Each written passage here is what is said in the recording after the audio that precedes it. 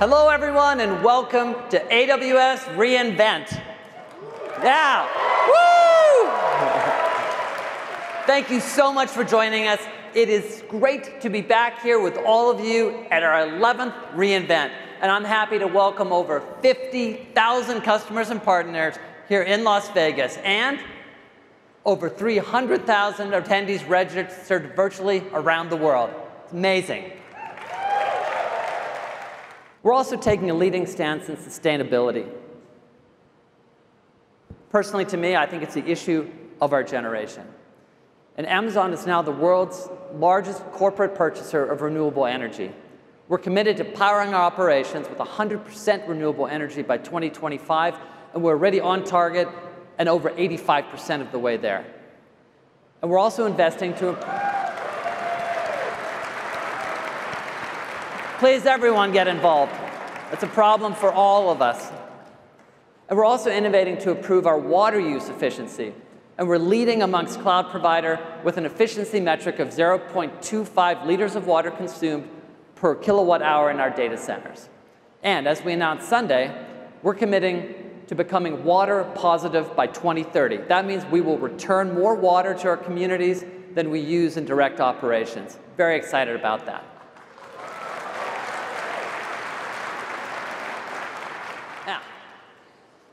You may have noticed from the previous slide, if you're paying very close attention, that one of the analytics services is not like the others.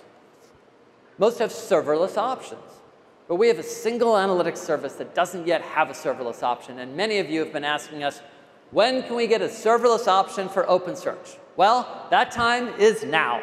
And today we're announcing the preview of OpenSearch Serverless.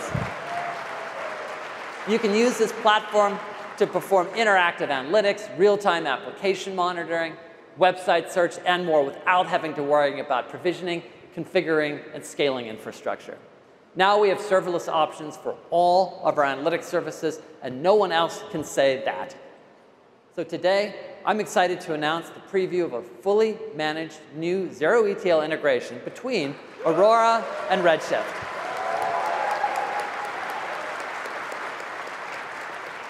This integration brings together transactional data with analytics capabilities, eliminating all of the work of building and managing custom data pipelines between Aurora and Redshift. It's incredibly easy.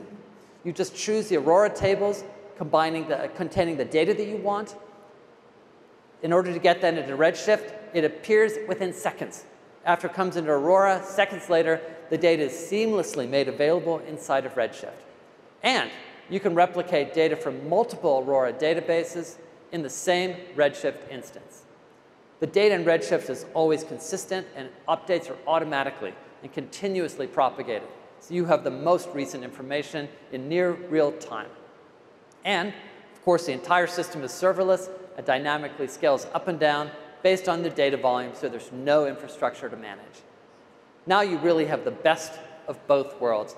Fast, scalable transactions in Aurora together with scalable analytics in Redshift, all in one seamless system. This newest integration helps solve one of the biggest ETL pain points for our customers. And I'm really excited to introduce Amazon Redshift integration for Apache Spark.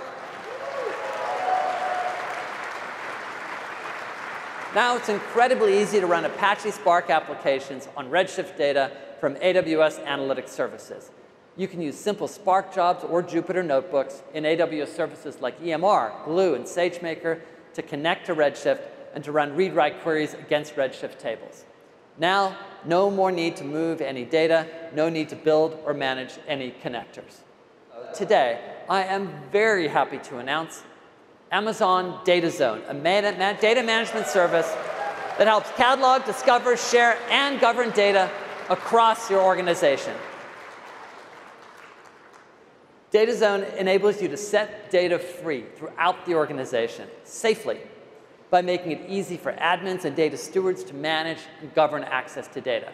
And it makes it easy for data engineers, data scientists, product managers, analysts, and other business users to discover, use, and collaborate around that data to drive insights for your businesses. So today, I'm really happy to announce ML-powered forecasting with Q.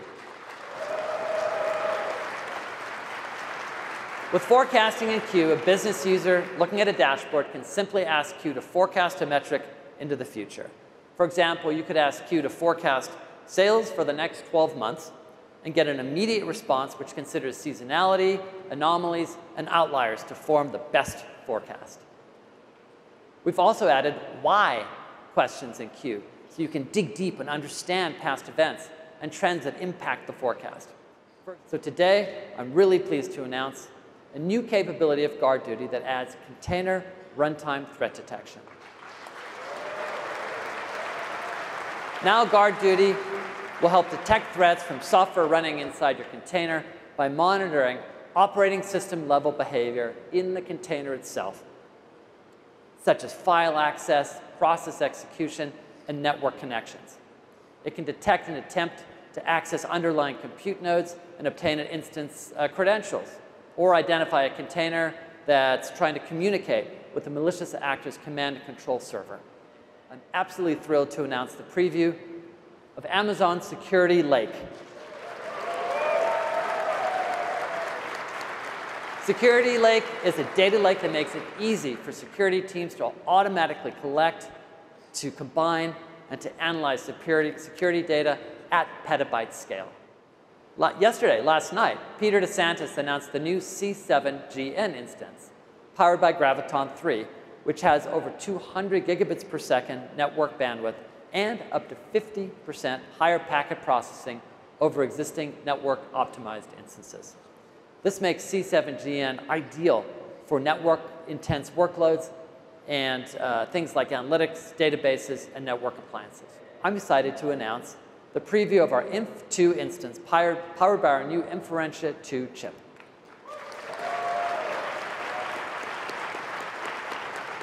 Customers can deploy a 175 billion parameter model for inference on a single Inf2 instance with four times higher throughput and one-tenth the latency of Inf1 instances. We're announcing the new HPC 6ID instances.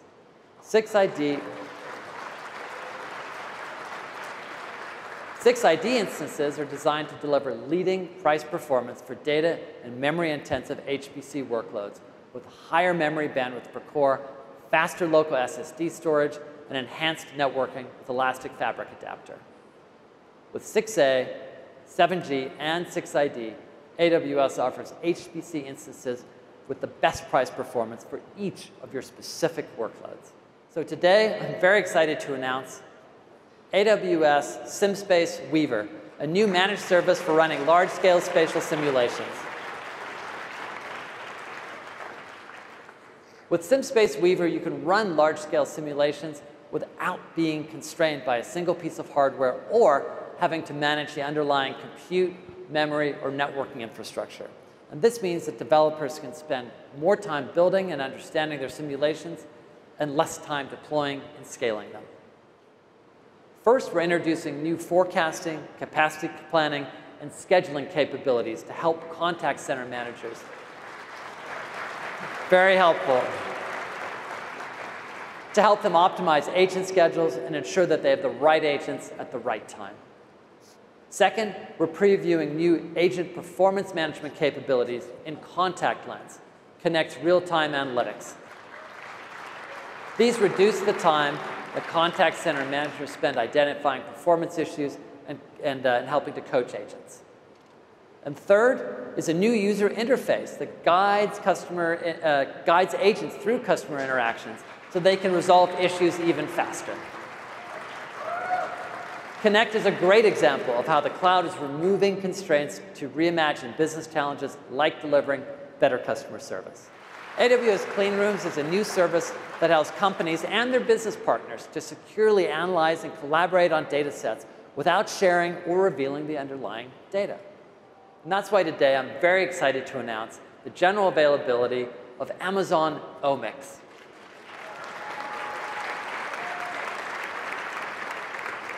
Omics is a purpose-built service to store, query, analyze, and generate insights from genomic and other omics data.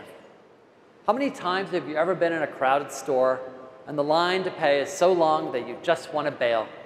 Have you ever thought to yourself, wow, I wish I could just walk out. And now you can. A few years ago, a few years ago, a group of Amazonians started thinking about how they could make the store experience better. And with a combination of computer vision, sensor data, and deep learning, Just Walk Out technology by Amazon was born. With Just Walk Out technology, a customer can scan their phone when they walk into a store, take what they want, and leave. No standing in lines to check out anymore. But we didn't stop there. We started thinking about the other places where you have to stand in line. So waiting in line to get into a stadium or badging into work. Remember that, badging into work? So this led to Amazon One, a new simple way to identify, enter, and pay with your palm. Yep, your palm. To identify yourself and automatically pay so you can just walk out. Now, you don't even need your phone. You can buy an item or enter a venue with just a wave of your palm. So we've just gone through a few of the examples of how customers are reimagining entire industries and business functions using purpose-built solutions on AWS. They're driving such momentum in this area. We're going to continue to innovate even more here going forward. Thank you so much to everyone watching. And of course, a big thank you to my guests on stage. And a big thank you to the whole AWS team for making this entire week and today possible. We have an amazing reInvent for you this year, so please go out there and explore it. Thank you.